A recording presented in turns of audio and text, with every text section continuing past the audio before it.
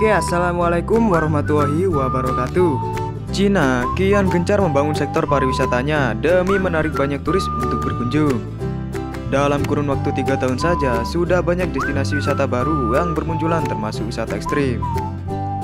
Jenis spot wisata semacam ini banyak digemari karena bisa memberikan kesan serta sensasi tersendiri ketika mendatanginya. Berikut ini adalah beberapa tempat wisata di Cina yang paling ekstrim. Tapi sebelum kita bahas videonya, jangan lupa klik tombol subscribe dulu ya lur, biar tidak ketinggalan info bermanfaat dari kami.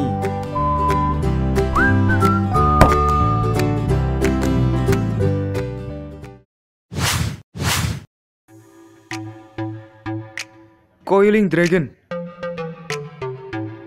Coiling Dragon Cliff Skywalk merupakan tempat wisata di Cina paling ekstrim yang baru diresmikan tahun 2016 lalu. Tersedia jalur dengan ketinggian 4.900 kaki atau sekitar 1.400 meter di pinggir tebing curam. Jembatan kaca sepanjang 100 meter ini terletak di Gunung Tianmen, Taman Nasional Jiangxi, Provinsi Hunan. Yang lebih ngeri, lebar jembatan tersebut hanya 1,6 meter saja, sehingga pergerakan menjadi terbatas. Namun, ente bakal disambut pemandangan yang luar biasa indah di bawahnya yang dikelilingi pepohonan dan tumpukan tebing eksotis. Kaca yang transparan memungkinkan ente melihat langsung ke dalam jurang tersebut. Berani coba?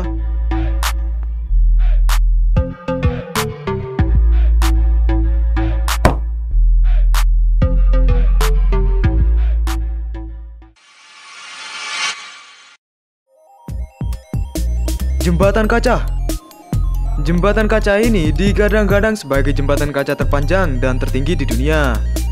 Lokasinya terletak di kawasan Jiangxi Grand Canyon yang menghubungkan dua tebing berjarak 430 meter.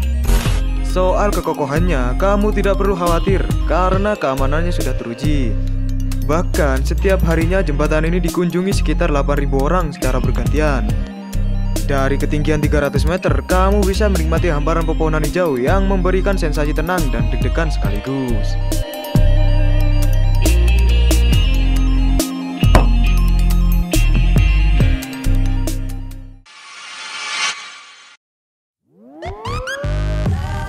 Terowongan Goliang Terowongan sepanjang 1200 meter ini berada di pegunungan Taihang. Setelah dibangun selama lima tahun, terowongan ini akhirnya dibuka untuk jalur lalu lintas pada 1977. Namun, kini terowongan Goliang berfokus sebagai tempat wisata ekstrim. Dengan lebar 4 meter dan tinggi 5 meter, terowongan ini muat dilewati mobil berukuran kecil, seperti jenis sedan.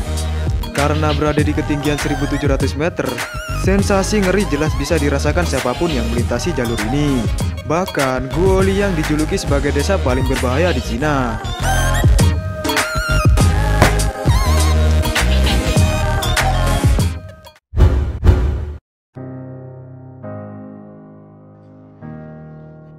Restoran ini terhubung dengan jembatan beton yang menggantung di tebing setinggi 30 meter.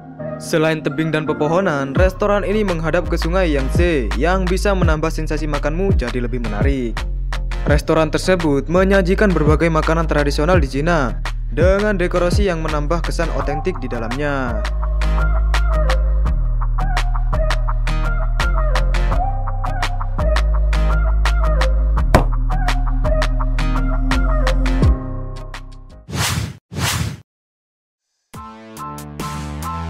Floating Walkway Baru diresmikan pada awal 2017 lalu, tempat ini langsung mencuri perhatian dan jadi primadona wisata baru di negeri tirai bambu ini. Sebuah jalan apung sepanjang 5,13 meter ini tercatat dalam Guinness World Record sebagai jembatan apung terpanjang di dunia. Lokasinya berada di atas sungai Hongshui yang membentang seluas 54.000 meter persegi. Jika dilihat dari atas, bentuk jembatan ini menyerupai kupu-kupu yang indah. Ente akan disuguhi berbagai hiburan di dalamnya, di antaranya pertunjukan air dari para profesional, hingga pertunjukan lampu di malam hari.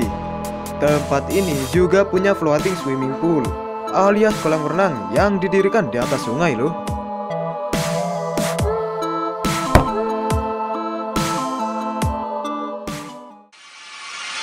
Oke, segitu saja video dari kami.